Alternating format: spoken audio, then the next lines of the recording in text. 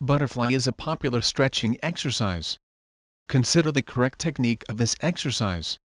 Choose a convenient place for training. Start the exercise.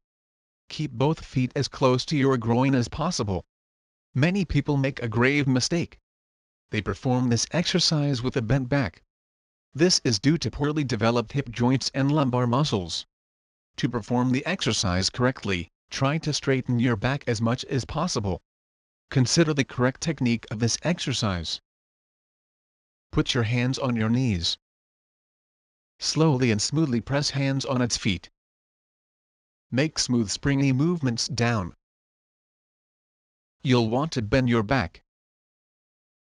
But the back should be straight. Exercise butterfly should be performed with the most straight back. This is a very important point.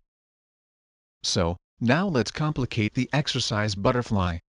Pressing with both hands on both knees, make slopes down. Always with a straight back. This is a very important point. Do not try to get your forehead legs. In no case do not bend your back. Straighten your back and lean down. Try to stretch your belly to your feet. Important drawn to the leg's stomach, not your forehead.